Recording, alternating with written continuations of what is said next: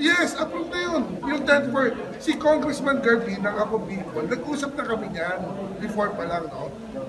Ah, tinanong niya, GM, baka pwede naman magkaroon ng window. Pinag-aralan namin, nakita namin yung point niya, valid.